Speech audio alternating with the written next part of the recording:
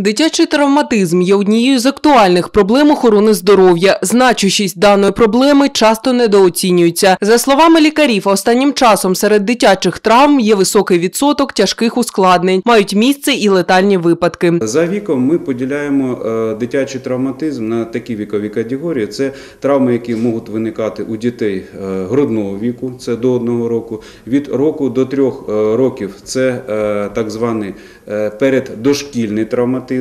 Від трьох років до е, сіми років е, це дошкільний травматизм. І е, від е, сіми років до 16 років це е, так званий е, школьний травматизм. Що стосується переломів, то тут, за словами лікарів, клінічної картини можна не побачити. Дитячі кістки більш м'які, ніж у дорослих, та містять багато води. Ми е, е, дуже рекомендуємо дивитися за дитиною, щоб е, закриті е, були балконні двері. Якщо е, відкрите вікно, це теж е, треба контролювати з боку батьків. Експерти зазначають, аби попередити травми у дітей, потрібно виховувати культуру поведінки та формувати систему правил під час самостійного перебування.